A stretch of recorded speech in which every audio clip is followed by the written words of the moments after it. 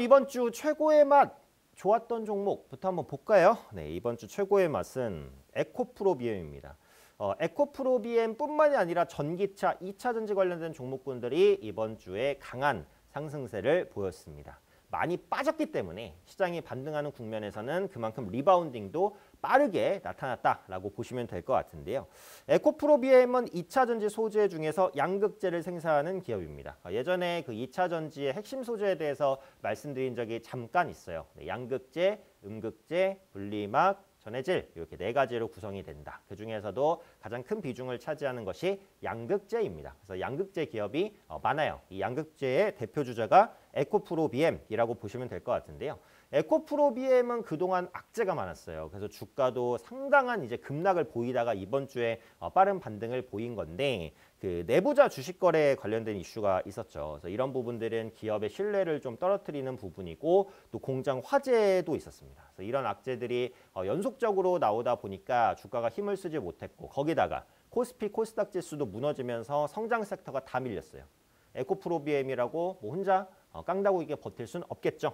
어, 같이 이제 밀렸었던 부분. 시장도 약한데 악재도 쏟아지니까 주가가 버틸 수가 없었죠. 하지만 지금은 이런 악재들이 대부분 주가에 반영되었고 소화를 시키고 있는 구간이다라고 판단을 하고 있고요.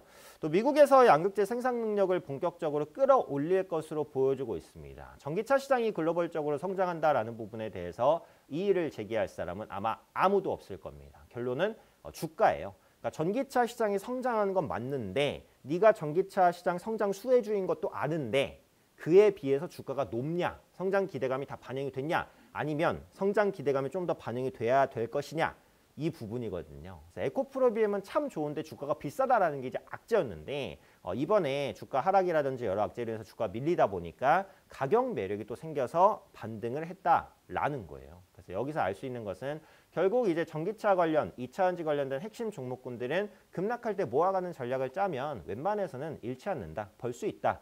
라는 겁니다. 그래서 이 부분을 알 수 있고요. 뭐 글로벌 전기차 시장 고성장 지속하고 있는 부분. 그러니까 저도 어, 확실히 느껴요. 그러니까 뭐 재작년 정도만 해도 제가 길에서 전기차를 거의 못 봤어요. 전기차를 보면은 제가 좀 쳐다보고 있었어요. 왜 그만큼 없으니까. 근데 작년부터 시작해 전기차 진짜 엄청 늘어났어요.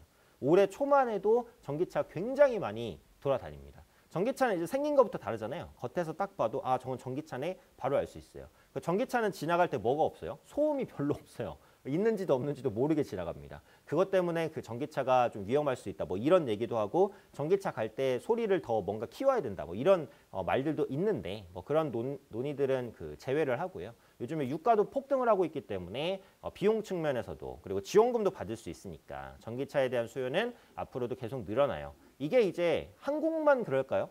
그럴 일은 없죠. 뭐 유럽이라든지 뭐 미국 다른 국가들도 마찬가지란 말이에요. 네, 그에 따라서 2차 전지에 대한 수요는 폭발적으로 증가합니다.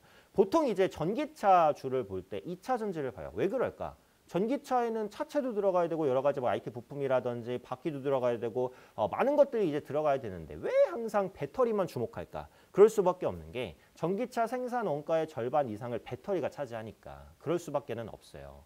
그래서 앞으로 이제 배터리의 생산 원가가 급격하게 뭐 줄어들거나 아니면 전기차의 생산 원가 중에 다른 게 크게 부각되거나 이러면 배터리 관련된 종목군들이 조금 모멘텀이 약해질 수도 있는데 어, 전기차 원가의 상당 부분을 배터리가 구성하고 있다 보니까 어, 배터리 소재 관련된 종목군들이 주목받을 수밖에는 없습니다. 그래서 이런 구조들을 어, 이해하시고 좀 대응하시면 좋겠다라고 생각이 되고요.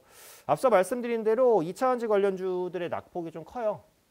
에코브로 에코프로 BM뿐만이 아니라 뭐 LG 에너지 솔루션이라든지 뭐 삼성 SDI라든지 2차전지 관련된 종목군들이 다 많이 빠졌습니다. 많이 빠졌다가 올라가고 있는 구간이다 보니까 시장이 여기서 추가적인 반등을 시도해 준다면 2차전지 관련주도 같이 끌고 올라갈 가능성이 어, 높아요. 그래서 앞으로의 전망도 네, 괜찮다. 그러니까 단기 급등한 부분 때문에 좀 눌렸다가 갈 수 있지만 어, 추가 반등은 충분히 가능하니까 2차전지 관련주들 폭넓게 한번 살펴보셨으면 좋겠습니다.